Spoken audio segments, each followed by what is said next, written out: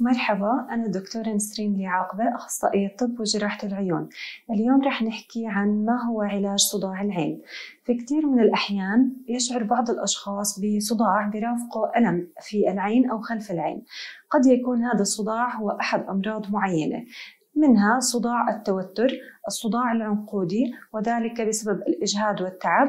الصداع النصفي أو ما يعرف به الشقيقة وهو أكثر أنواع الصداع انتشارا حيث بصاحب الصداع هذا ألم حول العين بشكل نبض أو آه، ضغط حول العين وقد يرافقه أيضا تدني في حدة الإبصار. ويكمن العلاج في معرفة السبب.